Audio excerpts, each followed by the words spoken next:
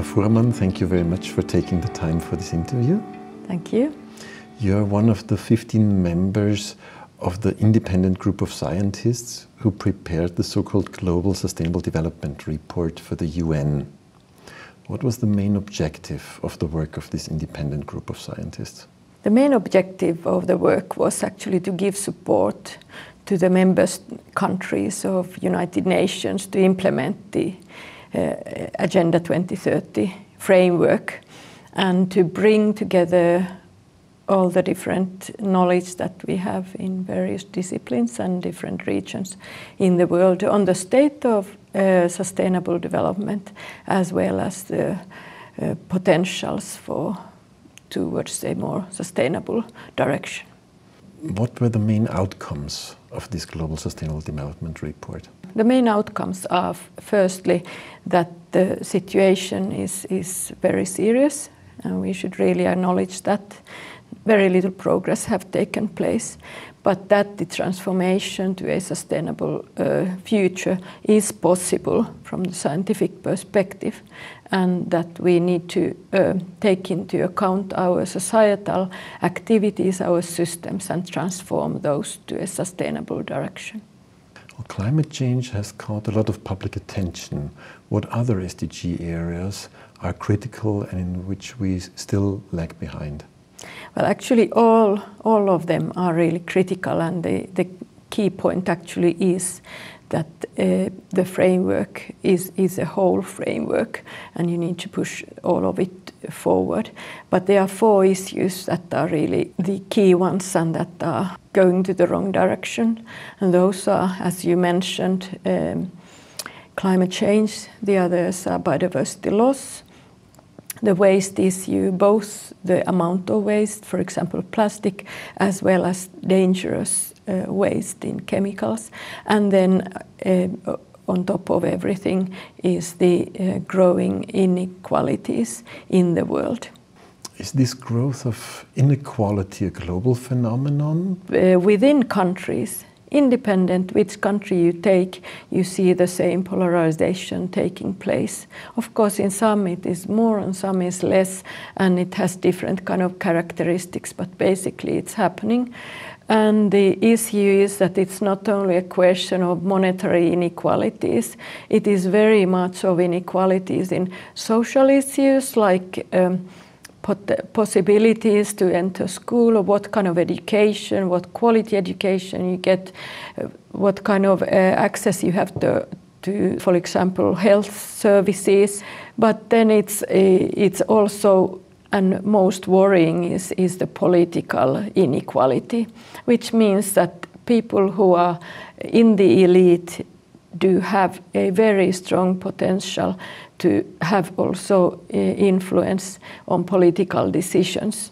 The difference between the different uh, groups of societies in the uh, possibility of impacting how policies are being uh, implemented and, and developed is really striking. Among this group of 15 researchers, there were several different disciplines, mm. I assume.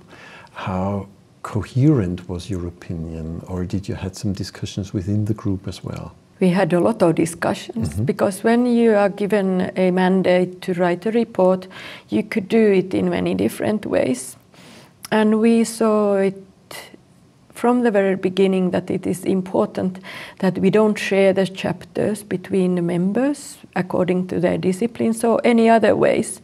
So we were, even though it was probably more tedious to do it that way, we did everything together. We had responsibilities, but everyone could write in uh, to every chapter, and everyone signed the whole report.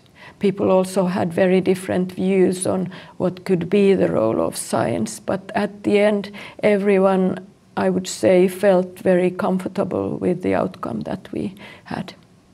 And what could be the role of science in, in transitions towards sustainability? We came to the conclusion that even though all science is, is very important, we need to um, make far stronger sustainability science. And that is science that, that really look at the interlinkages, look at the transformations and look at looks at the power structures in different parts of the world and we really realize that there's huge gaps in many parts of the world in science capacity. And we saw this as a huge problem because uh, the transformations that we are needing need to be carried out by different parts of the world together, by different countries, because we have the flows connected to all our systems. So we very much emphasize and advocate that science needs to be strengthened in, in developing countries and in middle income countries, but that in all countries and especially in the developed countries, we need to manifold our sustainability science in the policy cycle, what do you perceive as the role of science in the agenda setting, in the preparation of policies, in the implementation, mm. in the feedback? Mm. So, where's the most important role of science in policy making? And what parts of the policy cycle are simply the job of policymakers? There are two points where, where science is, plays a key role, and one is the, as you said, it's the policy setting where you bring the alternatives and assessments and evaluations are really important. And the other one is the post phase where you actually analyze how not only experiments but existing policies have um, what kind of leverage they have had. Is it positive or negative? Uh, or what is good and what is bad in those? And experimentation is a very good way to try new types of of policies and it is there again really important that you do it jointly with the science and, and in a way include their uh, continuous evaluation. But then uh, I see also something, uh, a new mode that is now arising, and this is this experimentation laboratories, really, where you don't uh, really necessarily link it directly to the um, policies, but the whole governance and, and the way that you deal with a certain issue. And you experiment things uh, jointly with the policymakers so that they are part of it as well. Um, I would, uh, for example, tell what we are doing with uh, school food. In my own work, uh, we are working together with uh, pupils, with uh, kitchens uh, providing food to children, but we also bring the, the municipality decision makers and also the national level policy makers jointly in different phases of these experimentations. So there isn't a certain point that now we are in a policy cycle where we make a new policy, but it's a kind of continuous. So it's, it, it is in a way part of it. It's a new generation of science policy, I would call it. When we bring in citizens into the science policy interface, does it solve problems or does it create more problems? I think it is a solution, but uh, there has been lately quite a lot of research on the fact that it has become almost like a hype that you need to bring actors, not only citizens, but actors to everything. And we should maybe be a bit. Uh, not careful for that, but it's also quite resource demanding. And and then uh, when we are doing um, decisions or planning where you can actually much lighter communicate with the actors that should be used in a way because it's also quite tedious for the, those who are acting, taking part in these processes. But still, I would come back to the fact that it is very good to work with the actors, with the citizens, but also other actors, because they can actually, on the way, already test and implement them to a certain degree, as long as they are aware that there is an evaluation and they might need to then change. But uh, being part of the process is very important. When you brought together this enormous amount of data and studies to prepare this Global Sustainable Development Report, did you have the impression that these different sources are, in their findings, converging, or did you find any kind of contradictions as well? Uh, actually, the report uh, uh, have been evolved along the years so that they are actually looking also at the interlinkages. But the entry points that they take, they are always from one perspective that somehow we should solve this issue and take into account the others. And I think that is a bit problematic from the decision makers' point of view. I think the bigger problem really is that what is important should we prioritize and so forth. And from our perspective, we should really not prioritize, but really drive forward all the six systems which take into account all these different elements. The main message is really that um, sustainable development should be the basis of all decision making and budgeting in different parts of the world. Science should be really pushed to take the responsibility that they actually do have. And then we highly recommend that even though the 17 SDGs are an excellent political um, goal or they are goals political goals and a framework for that. When we are implementing, we need to do something more concrete. So we are recommending that all countries and regions take seriously the six entry points and the four levers and build from that their pathway, their roadmap to a more sustainable future. Is the work of the independent group of scientists now done, or is there any more work to do for your group, and will it continue to collaborate?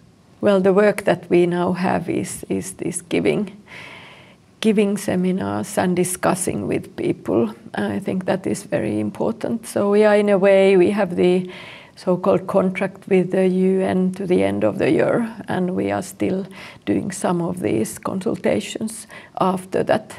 But after that, there will be a new group, a new another four years, and we are we are giving our feedback to the next group so that what what are the lessons learned from the process itself to them. So so that is maybe one of our last tasks that we have. Do we need more sustainability research financed by the European Union? There's the upcoming yeah. Horizon Europe program yeah. now. There are the so-called missions. Yeah. Do we need specific missions regarding sustainable development? Yeah, well, I think the mission approach as such is really important and, and an excellent thing to be done. Uh, I think the missions should all based on sustainable development, so they all have contribution to that because if you think what is a waste, the big waste would be to, in a way, drive in the society at the same time sustainable development agenda and other development agenda. That won't lead very far with anything. So I think it is really crucial that also the research agenda in the European Union has a strong basis on sustainable development. All these need scientific knowledge and interdisciplinary, transdisciplinary knowledge that is really raising these issues and uh, includes elements of co-production, innovation with businesses, with the society at large, with policy making to, to make it forward. Otherwise, we are not going to get this going. When you are dealing with systemic challenges, uh, often these wicked challenges, then you really need sustainability science. And I think that there is a big possibility from the European Union to push for that. The new European Commission is taking office soon, and on the other hand, there are several sustainability challenges ahead.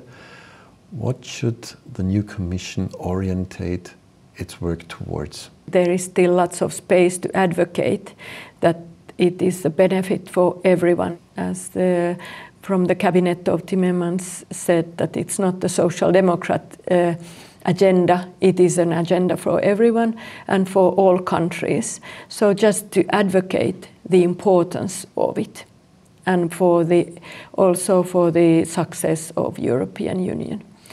But uh, to do it in practice, I think the crucial ones is building the budgeting on sustainable development and, and um, uh, building it as, as a basis for all policies. And there are, of course, those really uh, flagship uh, policies that are for sustainable development. The Green Deal is a very excellent way to move forward, and it's also something uh, that the whole whole European Union could pick up. So I think that is a very good possibility to take sustainable development to the next level. Thank you very much for this interesting interview. Thank you very much.